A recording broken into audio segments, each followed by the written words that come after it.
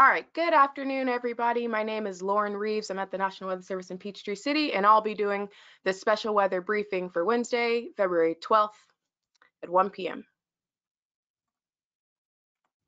All right, so today we're going to focus mainly on our severe potential later this evening and into tomorrow and through the day tomorrow. Our main hazards are damaging wind gusts. There is a potential for some brief tornadoes, and we do have a flash flood watch in effect across portions of northern Georgia, and that runs through Thursday afternoon. As we have already been seeing over the past at least week, two weeks or so, we will have some more periods of moderate to heavy rain possible, mainly over northern Georgia. So the main impacts with this fairly similar to what we have been seeing with the previous systems. We could have some winds that could down trees and power lines easier with the saturated soils that we have. So that'll be much easier than if we hadn't had so much rain over the past several days. In addition, we will have a continued flash flood threat mainly across northern Georgia and a continued river flood threat across the entire area. Then after we get through later this evening into Thursday, we'll take a very, very quick look at Sunday through Monday and into early next week as we get our next chances for rain. So first and foremost, just want to show our current watches. Right now we have a flash flood watch in effect across much of northern Georgia. And so that watch will go through 7 p.m. this evening through Thursday afternoon, so a little bit later on today. And very quickly, just wanted to do a quick hydro summary. On the left side here, you have a picture of the southeast and the river gauges across the southeast. If you see any of the orange, red, and purple colors, those are the gauges that we have that are in minor, moderate, or major flood across some other portions of the southeast.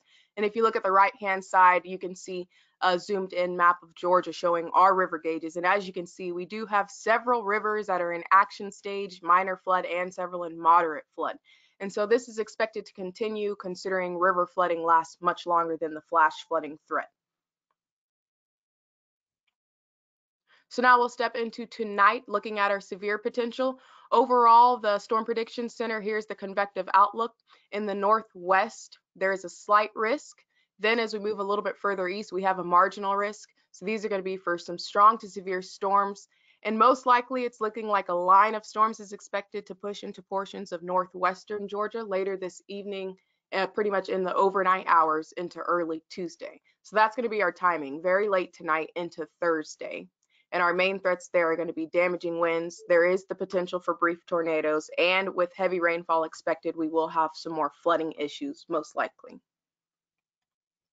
Then as that line of storms continues to push south and east through the rest of the forecast area, there's a marginal risk over much of the rest of the area aside from northwestern Georgia. And so this is cont a continuous line, but they're split over two days because this will occur in the overnight into the early Thursday morning hours. So the timing looking at Thursday is going to be starting Thursday morning and getting into the afternoon as those storms push through the area. And the main threat is damaging winds. We do have a non-zero threat for tornadoes for Thursday, but it is looking most likely that the damaging winds will be the main threat. And we still will have some periods of heavy rainfall, but aside from the ongoing river flooding, we're not expecting much in the way of flash flooding. So now I just wanted to show a timing graphic for late tonight into tomorrow. So that line of strong to potentially severe storms looks to enter the northwest corner of the area around or maybe after 11 p.m. around through about 4 a.m. And then as that line pushes south and east, could impact portions of the metro and other portions of central Georgia from about 3 to 7 a.m. And then expecting after 7 a.m. for that line to be moving through the rest of the area. And then that'll be through the afternoon. So now here's one of our uh, local models that we have here in the office. And just to keep in mind, this is just a potential solution out of many for what the radar may look like later on this um, overnight and into tomorrow. So this starts at 7 p.m. this evening, and you can see that line starting to approach the area. And then this loop runs through about 9 p.m. Thursday. So although the highest severe threat is going to be with the front leading edge of this line, we could still have some lingering showers out behind as that cold front is pushing through. So I'll let this loop a couple more times just so everyone can see the progression.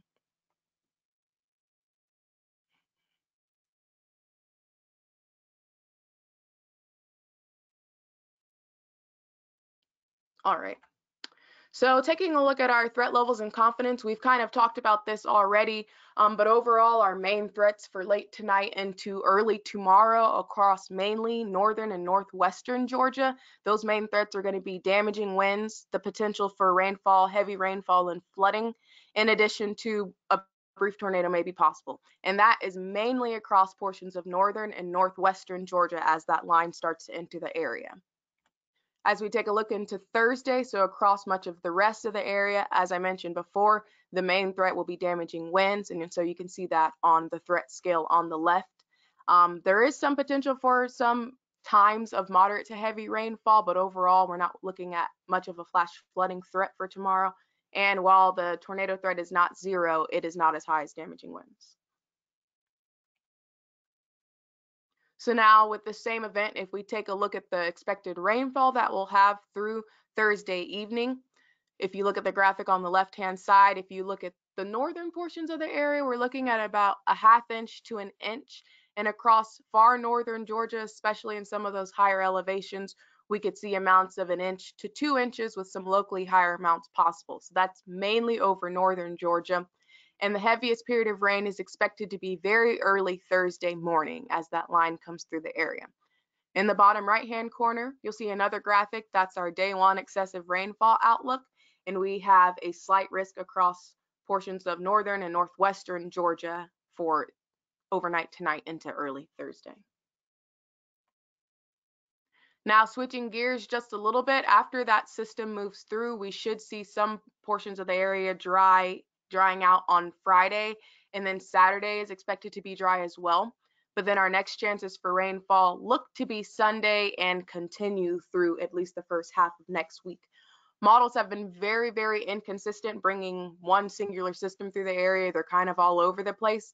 But the point is that we do have those chances for rain, most likely returning on Sunday and continuing through the first half of the week. In addition, there is some potential for some wintry weather across far northeastern Georgia early Sunday morning, and that um, A is very, very uncertain. Overall, it's been looking less likely for that to occur as we've been approaching that event, but there is still that very slight chance. But if anything changes, we'll definitely keep you all updated. All right, so just a quick look at the rest of the week. Um, up top, we have Blairsville, a seven day forecast. In the middle, we're looking at Atlanta. And then at the bottom, we're looking at Macon. So just taking a look at Blairsville, temperatures generally in the 50s today.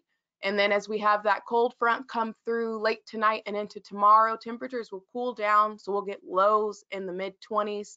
And then we'll have some highs pretty much in the 40s for Blairsville as we get into Friday and into the first part of the weekend. Then, as I mentioned, we do have that very slight chance for a wintry mix early Sunday across the far northeast. And so you can see that for Blairsville with low temperatures still in the 30. And then as we get into Monday and Tuesday, still have those chances for rain, although temperatures will warm back up to the 50s and 60s. For Atlanta, a fairly similar trend with temperatures in the 60s, but cooling down to the 40s and 50s after the front moves through, and then warming back up as chances return again for Sunday, Monday, and Tuesday. Pretty much the same thing for Macon as well, although just a little bit warmer than Atlanta was. Temperatures in the 60s and 70s, cooling down to the mid 50s when the front comes through, and then increasing back up to the 60s and 70s for the first half of next week. Then taking a quick look at the six to 10 day outlook. So we're pretty much looking at next week. Overall, unfortunately, it still looks like we'll have um, above normal chances for precipitation and most likely above average temperatures as well. And you could kind of see that as we started to get to day seven in that seven day forecast, temperatures are warming back up pretty good.